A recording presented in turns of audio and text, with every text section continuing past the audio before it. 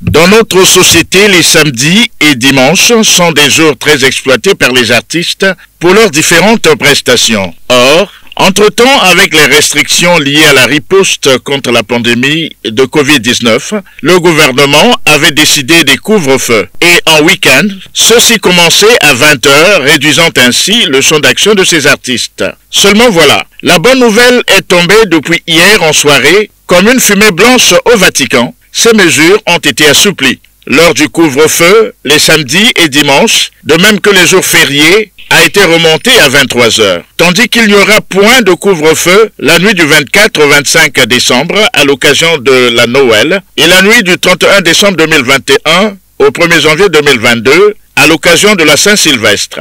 Les artistes rencontrés à Pointe-Noire ont bien voulu s'exprimer à ce sujet. Ça me fait plaisir parce que c'est revenu à 23 heures et ça a été difficile pour les artistes. Chaque samedi, parfois on avait des trucs à faire.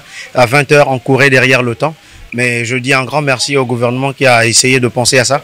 Surtout pour nous les artistes, ça nous permet, chaque week-end, on peut avoir quelque chose à faire, dans des cabarets, faire beaucoup de choses. Parce qu'avec le couvre-feu, ça nous a freiné vraiment beaucoup de choses. On ne pouvait plus faire les spectacles. On a tout réduit à cause euh, du couvre-feu. Avant, on commençait les spectacles à partir de 23h et on, on rentrait euh, le lendemain matin.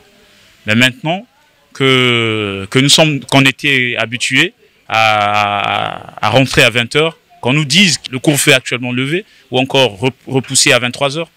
C'est hier, on, a, on était tous joyeux. De même, ils apprécient positivement le maintien de certaines mesures à l'instar du porte intégral du masque. Déjà depuis le début, euh, nous sommes dans, dans, dans cette procédure nous lavons les mains, nous portons des bavettes. Et nous le redire, c'est juste un bien. On est d'abord euh, le garant de notre santé, ça c'est normal, on métier, ça c'est normal. Ça c'est important, c'est pour tout le monde en fait. Si tu ne mets pas ton masque, tu seras malade. Même si tu es vacciné, tu dois mettre ton masque pour éviter d'être malade. Tout le monde va tenir la porte, tu dois mettre euh, ton gel pour laver les mains et puis euh, prendre soin de toi. Vivement que les fêtes de fin d'année et de nouvel an colorent en bleu et en blanc l'horizon de ces artistes pour des lendemains meilleurs.